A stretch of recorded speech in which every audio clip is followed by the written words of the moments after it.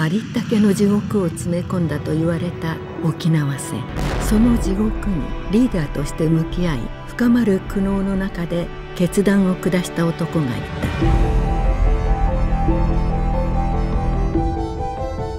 俺は死にとうないから誰かが言って死んでくれとはよう言わん。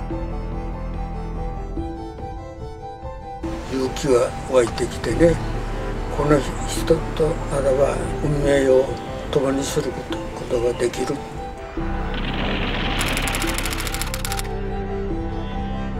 住民をあれだけ巻き込んで戦闘をしたいのはね世界に類がない。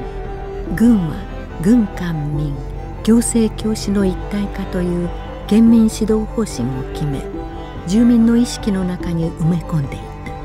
軍がこう県に対して要請というのは当時はもう命令なんですよ。軍は県民も玉砕だなどと言っているが私は何としても県民を守らねばならない。